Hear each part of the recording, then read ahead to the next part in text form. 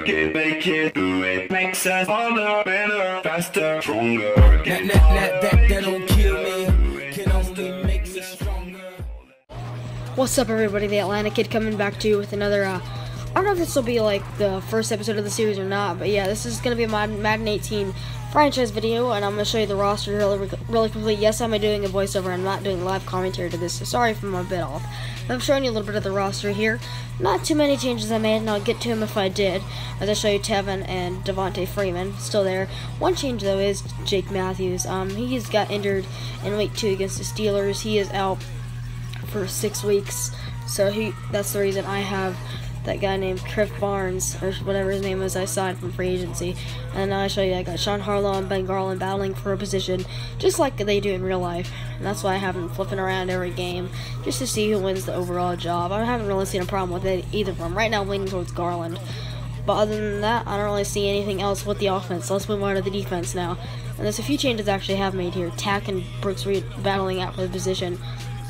Now, I don't know why I showed Devon uh, Kazee here, but I think he actually has a lot of potential here. Only 68 overall. Might put him on the practice squad eventually, but he's a big hard hitter like like Brian and Kellen Neal. And uh, as you can see here, I signed Joe Haden.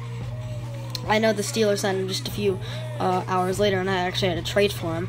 But I decided to pick him up, so I got Robert Alford and, and Desmond Trufant at my corners on one, and then, as I showed Keanu Neal for some reason, I got Rob, uh, Joe Haden and Jalen Collins as my cornerback number two.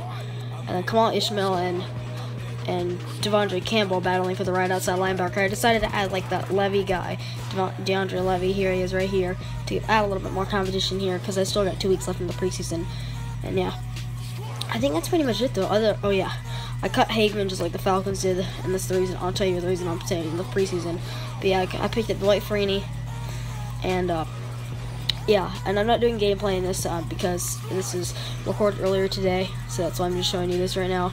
On Don, Dontari Poe, I think he's gonna be a beast out there. But the reason I started in the preseason is because I wanted to have the exact rosters, and I have to wait for the for the regular season to start. So what I decided to do is play through the whole preseason, cut the exact players the Falcons did, and other than that one, as I show you, I won both my games, but actually a lot. But yeah, see you next time. Go A10, Atlanta, get out.